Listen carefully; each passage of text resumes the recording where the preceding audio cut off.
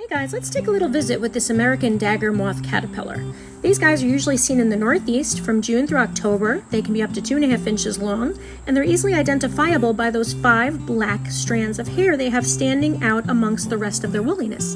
They come in yellow and white. These guys like to eat ash, maple, elm, and several other tree species. They will cocoon over winter and emerge as a two inch long brown moth in the spring. The moth got its name because if you look very, very closely at their little scales, they actually resemble tiny little daggers, although it's pretty hard to see unless you're up real close.